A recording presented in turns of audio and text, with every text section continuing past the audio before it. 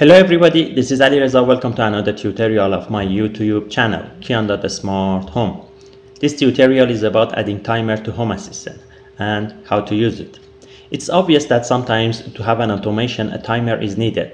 Stay tuned to add timer and use it in automations. Before going further, please click the subscribe button and motivate me to upload more videos. At the end, if you find this video informative, click the like button. Thank you. Adding timer to Home Assistant is simple and easy. In Home Assistant's sidebar, I click on Configuration, then select Helpers.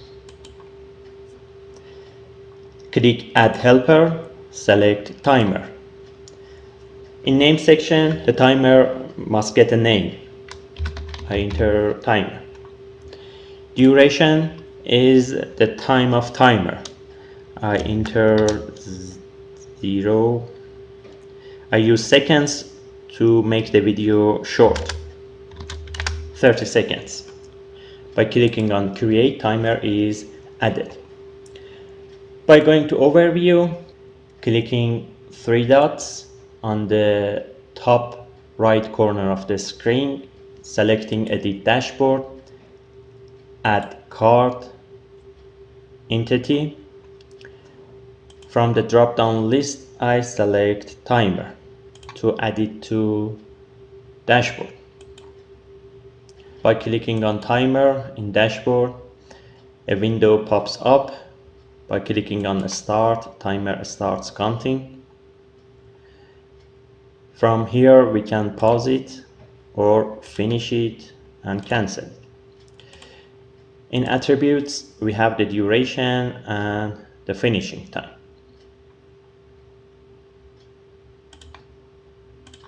Let's elaborate how to use it with a simple example. I go to configurations, select automations, click add automation, start with an empty automation. Set a name for the automation, timer. Mode queued. Triggers. In triggers section, trigger type is state.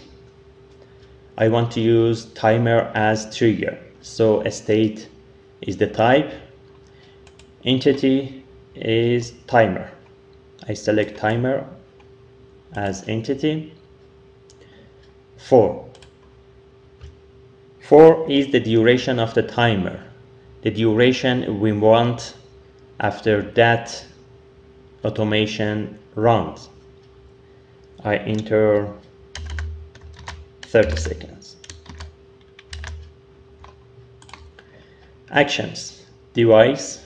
I select one of the switches I have among four switches in Home Assistant to turn it on by clicking on save automation is created I go to overview select the timer then click start.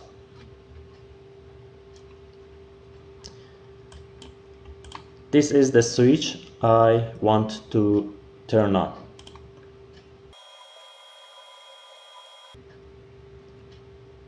Automation didn't work. Why? This is the issue. I go to configurations automations edit timer I change 30 to 29 seconds then click save let's test automation again I click on start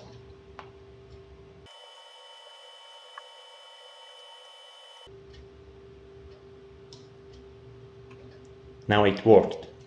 So the duration in automation mustn't be the exact number as duration of the timer. By going to configuration, selecting automations, editing the timer automation, I want to use timer in actions. After timer finishes counting, in actions section I click on add action select call service From the drop down list of service, I find timer.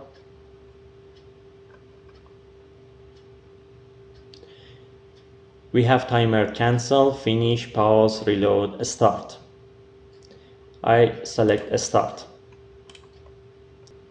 Start the timer. I select pick entity, select the timer. Here we can change the duration of timer. It was 30. I change it to 40. Then click save. Let's see what happens. I go to overview, click the timer.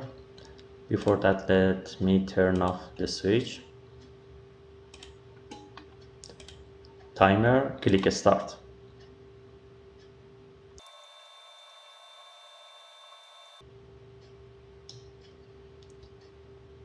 The timer completed, switch turned on and the duration was set to 40, timer started again.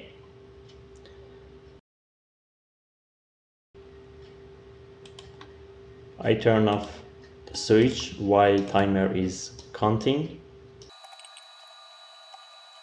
For the second time when timer finishes counting, 29 seconds.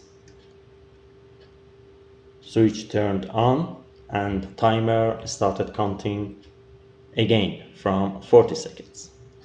I hope you have enjoyed this video. If you have any question, do not hesitate to leave comments. Bye bye.